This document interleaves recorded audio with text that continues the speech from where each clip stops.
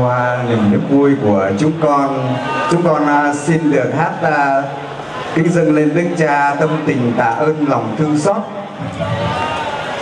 Sẽ do một à, em trong ca đoàn Mai Khôi để hầu tiếp quý cha, quý Đức Cha, quý cha, quý tu sĩ và toàn thể quý cô. Xin được mời Kim Thư ạ. Được không?